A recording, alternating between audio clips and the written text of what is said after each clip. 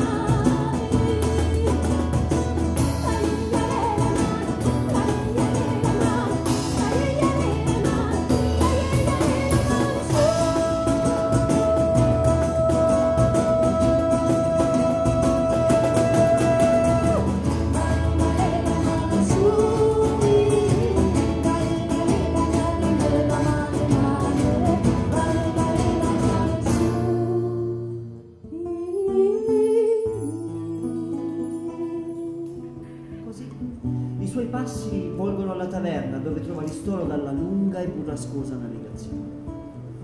Conosce quindi prima di tutto le usanze ospitali del luogo, la lunga tavola imbandita dove lo stesso invita a sedersi offende ai viaggiatori la firraina,